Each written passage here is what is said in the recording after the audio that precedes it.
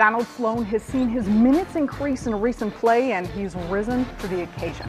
By continuing to get playing time, he's making the most of the opportunity to fill the void at the point guard position with Jarrett Jack out for the rest of the season. A big body guard, he has the ability to be effective in the paint and providing more opportunities for himself and teammates. He's displayed confidence, leading the charge, and Sloan only looks to improve even more as the season progresses.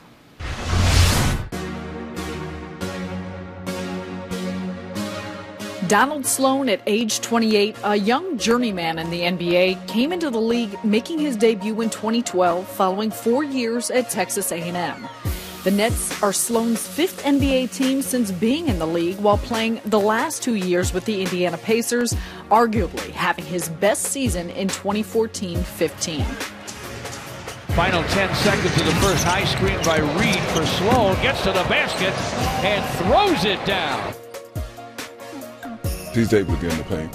And he's kind of got a knack for navigating through traffic and getting down there and either, either having to play at the rim or finding someone out on the perimeter. So um, he's it's kind of his game. I mean, they have to deal with him uh, when he gets to the paint because uh, he's pretty crafty at getting down there.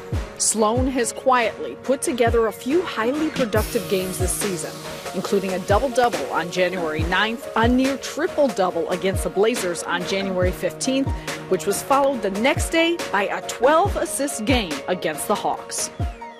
Sloan, open look at a triple. The cutter, Bargnani, and the Nets convert. The energy, though, the activity running the floor, alert by Donald Sloan. I think just uh, you know, kind of setting in, getting comfortable. My my mental going in every game is to make sure my guys getting shots. Sloan against Matthews. Bogdanovich sets and hits. So uh, they're making it. That makes my job a lot easier because all I have to do is three or four dribbles, kick it to him, and then knocking it down. Sloan on the move. Gives it up. Ellington spots up and drains the triple. I just think uh, you know, we look at the assists, you know, it's a two-player, two-player role. You know, you, of course, one has to pass, but yes, one have to make the shot as well. Sloan to the rim. Got attack. Dirk Nowitzki's not blocking that. He's not going to foul you. That's a great take. We've seen Donald Sloan giving it up, took it himself. Interim head coach Tony Brown has allowed the point guards to play a freer flowing offense with less restriction, resulting in Sloan's recent success.